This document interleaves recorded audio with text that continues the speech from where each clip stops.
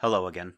My name is Dr. Jacob Gran, and in this video we will wrap up our two voice counterpoint exercises by looking at invertible counterpoint. As you composed melodies for your species exercises above and below the given melody, it may have occurred to you that maybe there was a way to kill two birds with one stone, so to speak, by composing just one melody that works equally well whether it is placed above or below the cantus firmus. There is a way to do that. In fact, there is more than one way, and we will call these methods invertible counterpoint, or sometimes double counterpoint. Invertible counterpoint is not really an essential part of tonal voice leading, but it is instead most useful if you want to continue on in learning how to compose what's called imitative counterpoint, canons and fugues and stuff like that, where the melodies would frequently pass between voices in the texture.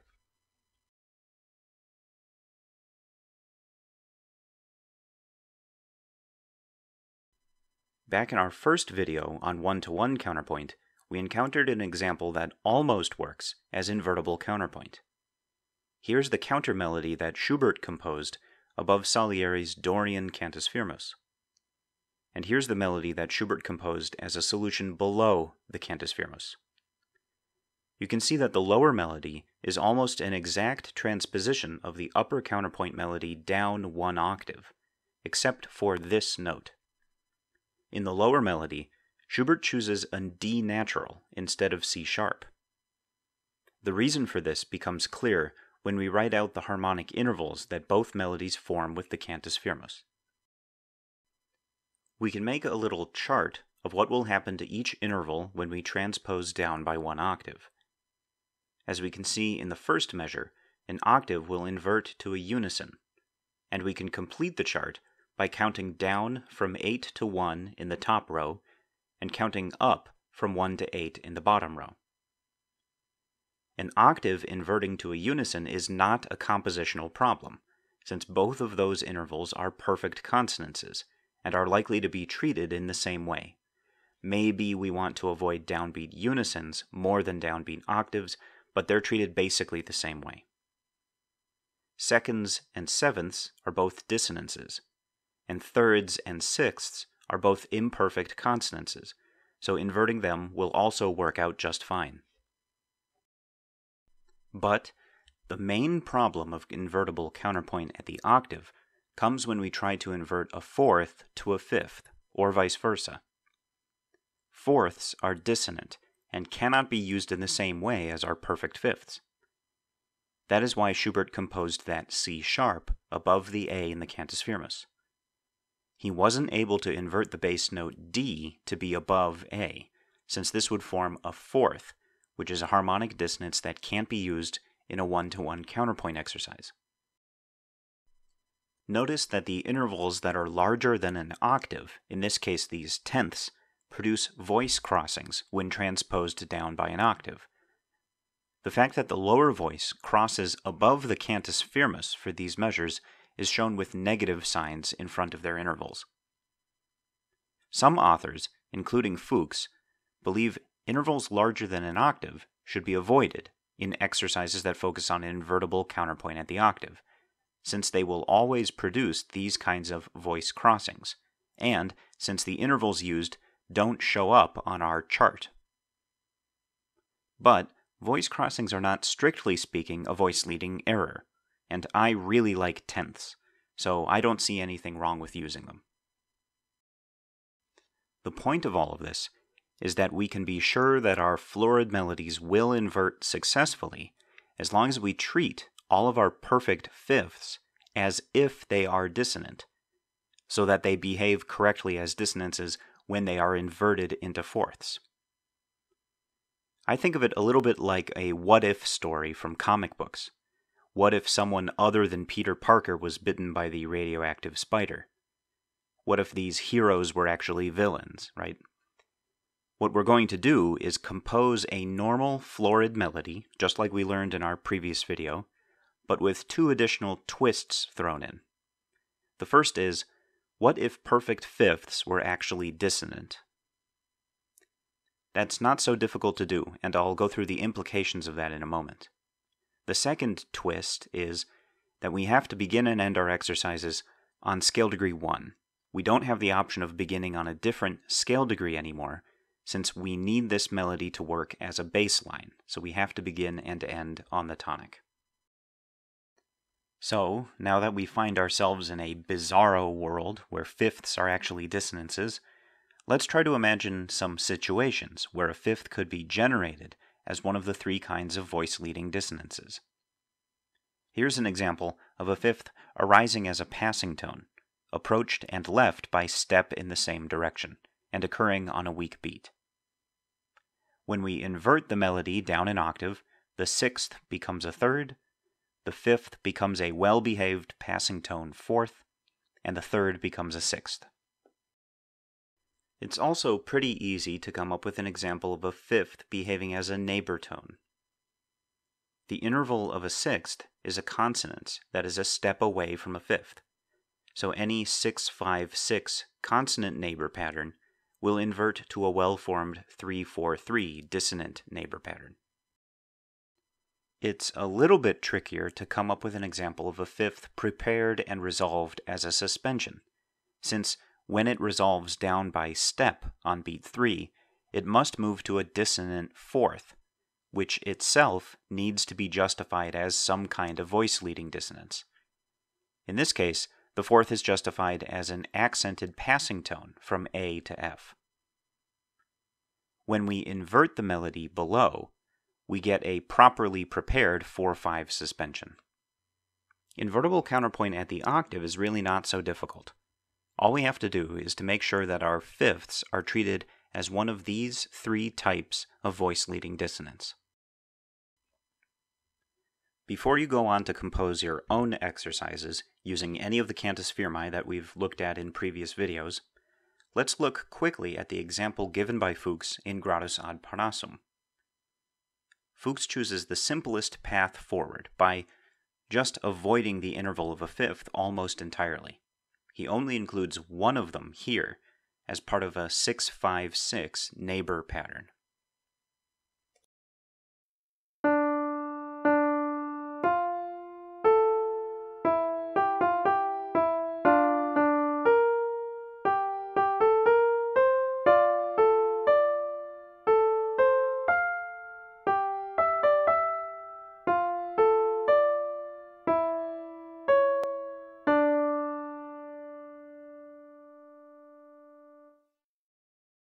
When Fux inverts the melody, the neighbor pattern becomes 3 4 3, and the dissonant fourth fits perfectly.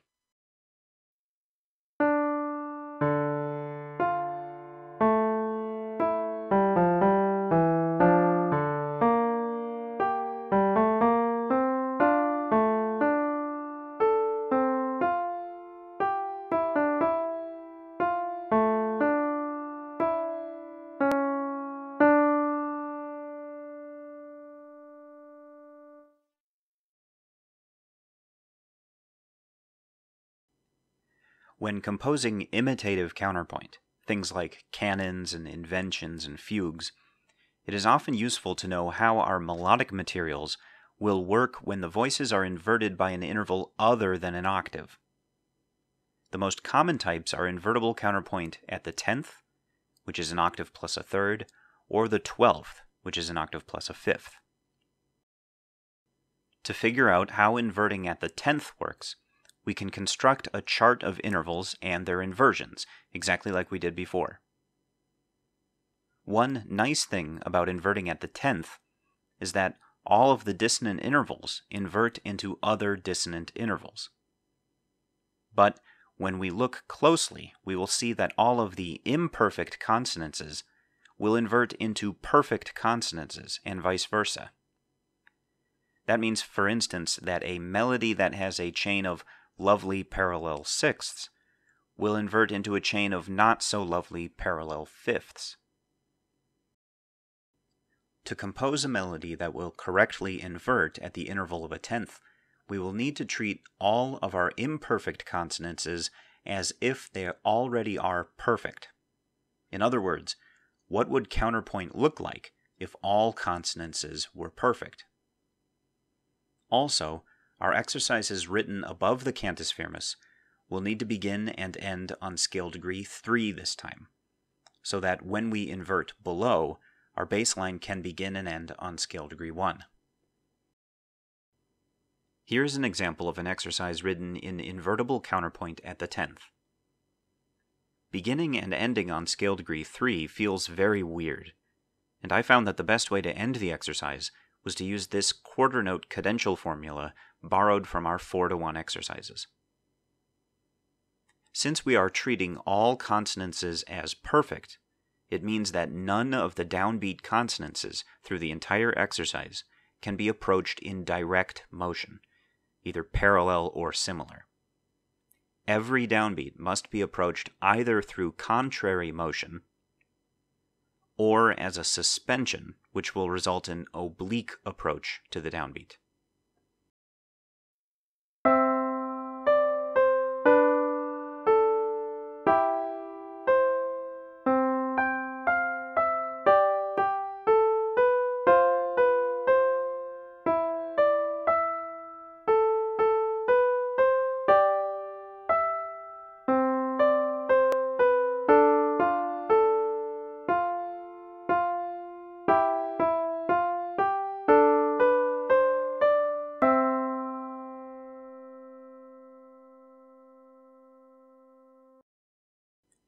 When we transpose the melody down by the interval of a tenth, we have a workable bass line that begins and ends on scale degree 1.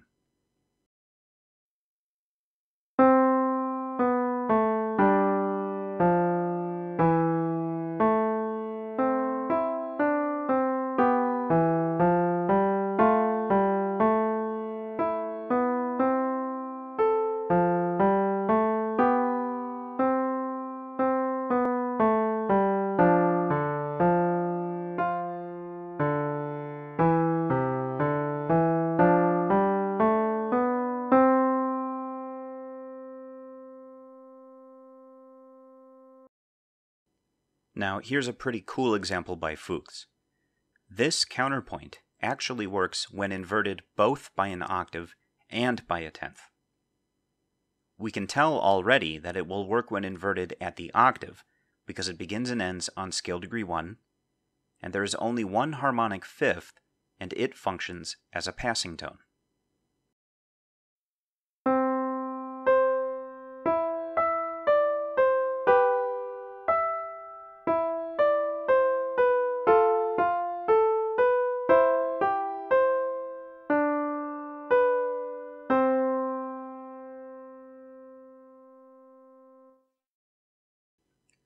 We can see that the melody also works as a bass line, although Fux does seem to overuse the perfect unison near the beginning.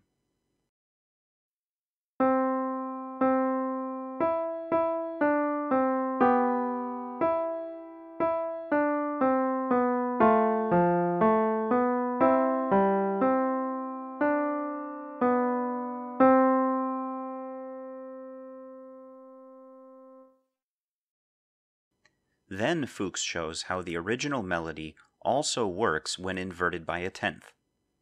We can check that this will work by noticing that each of the downbeats is approached either by contrary motion or by oblique motion via a suspension.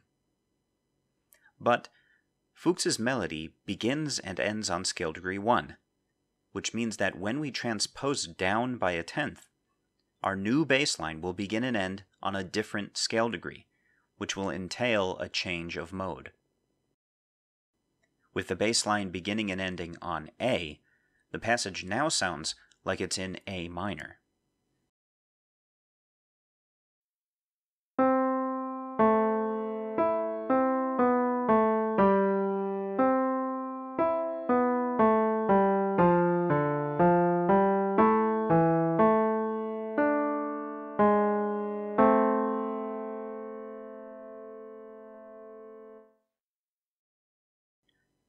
For his last trick, Fux also points out that you can combine the original melody with the inverted one to create a working three voice texture.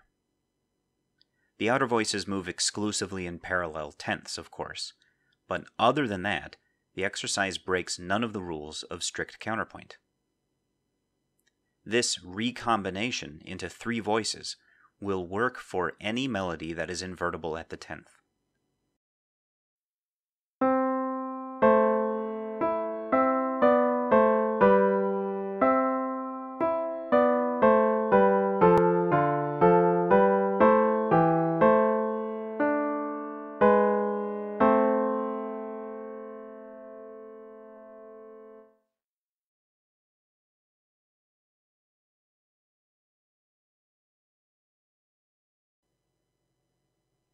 Invertible counterpoint at the twelfth is especially important when composing fugues, since very often the melodic materials of the subjects and countersubjects are transposed by fifth, and end up being rearranged in various ways later on in the composition. When we construct a chart to see how our harmonic intervals will invert at the interval of a twelfth, we see that perfect twelfths invert to perfect unisons, dissonant elevenths invert to seconds, tenths invert to thirds, ninths invert to fourths, and octaves invert to fifths. Everything's working out perfectly. Until we see that dissonant sevenths invert to imperfect sixths. So close. You can probably already guess what the main themes are for this form of invertible counterpoint. We can ask ourselves what would counterpoint look like if sixths were dissonant? And we will need to begin and end our upper voice exercises on scale degree 5 this time, so that they can begin and end on scale degree 1 when inverted into a bass line. If we are going to treat our sixths as if they are dissonant, then they need to be generated as one of the three kinds of voice leading dissonances we can easily come up with a situation where a sixth could arise as a passing tone, since the fifth is a stepwise adjacent consonance. A 565 neighbor note pattern will also invert to a correct 878 pattern for the same reason. The suspension, though, is a little trickier. If a sixth is going to be suspended, it needs to resolve down by step to a harmonic fifth, and it's easy enough to come up with an example of how that would work. But when we transpose the counterpoint below our cantus firmus, we notice that the 6 5 suspension inverts to a 7 8, which is unfortunate because that kind of bass suspension is usually not allowed. That means our upper counterpoint should not have 6 5 suspensions, but should only have sixths that are generated either as a passing tone or as a neighbor note. Here is Fux's example of invertible counterpoint at the twelfth. We see that he only uses the interval of a sixth on two occasions, and both times they function as passing tones. His counterpoint begins and ends on scale degree 5, A, and near the end he even raises the penultimate note G to a G sharp. You can think of this as a leading tone that is borrowed from the key of A minor and when we invert our melody, this accidental is going to invert to the leading tone in the correct key of D minor.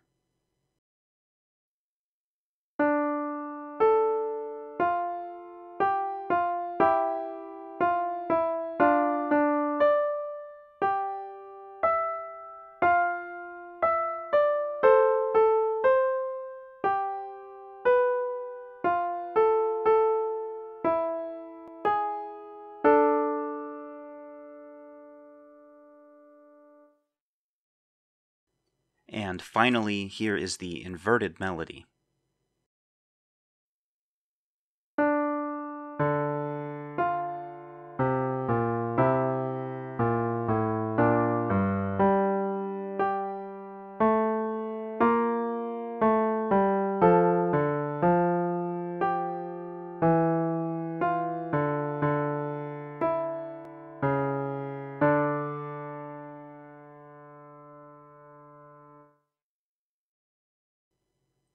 That's all for this video.